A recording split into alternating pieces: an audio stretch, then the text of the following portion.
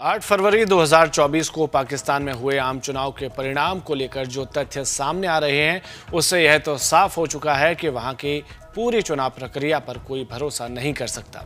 चुनाव परिणाम के बाद की स्थिति क्या होती है, इसका खुलासा शुक्रवार को देर रात या शनिवार को होने की संभावना है। लेकिन जो आसार बन रहे हैं, उससे इस बात की संभावना है कि नवाज़ शरीफ की अगुवाई में ही एक मिली जुली सरकार बनेगी। हालाँकि एक कमज़ोर गठबंधन होने की वजह से सरकार की चाबी पाकिस्तान की सेना के हाथ में ही रहेगी।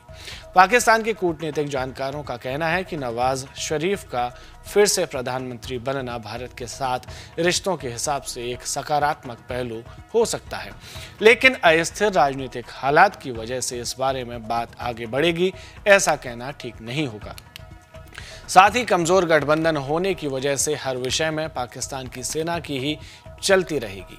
पाकिस्तान में पूर्व उच्चायुक्त अजय बिसारिया का कहना है कि जिस तरह की प्रक्रिया पिछले 24 घंटे के दौरान पड़ोसी देश में हुई है, उससे साफ़ है कि वहाँ वोटिंग से पहले भी और बाद भी बाहरी हस्तक्षेप हुआ है। लेकिन इसमें कोई आश्चर्य नहीं है। खासतौर पर जो लोग पाकिस्तान को करीब से देख चुके हैं, वह जानते हैं कि वहाँ चुनाव किस तरह से करवाए जाते हैं। हाँ इस बार इमरान खान की पार्टी पीटीआई के समर्थक स्वतंत्र उम्मीदवार नतीजों में जिस तरह से पहले आगे चल रहे थे, उससे यह संदेश देने की कोशिश हुई है कि वहाँ चुनाव निष्पक्ष कराए गए हैं और इससे पीटीआई के करिंदों में कुछ गलतफहमी भी हुई है, लेकिन यह दूर होने लगी है। असलियत यही है कि पाकिस्तान की सेना जैसा चाहती है, वैसा परिणाम निकालने जा रही है।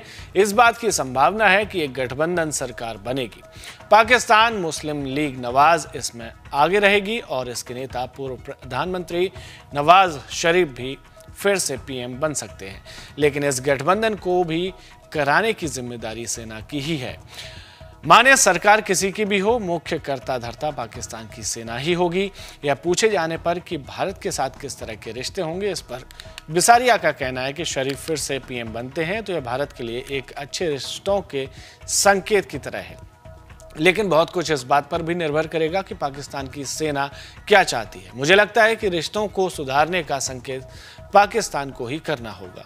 कुल मिलाकर कुछ भी कर लो अंत में सर्वे सर्वा सेना ही है। वहीं नतीजों से नाखुश पीटीआई ने दो दिन पहले विरोध प्रदर्शन की बात कही थी। उस दौरान क्या कहा था वो बयान आपको सुनवा देते हैं।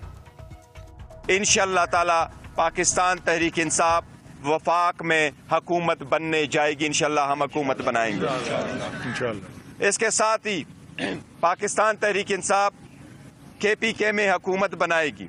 इस वक्त मेरी सबसे दरख्वास्त है, अवामी मैंडेट को, इस आवाम की आवाज़ को रिस्पेक्ट करे, इसको हर सूरत एक्सेप्ट करे।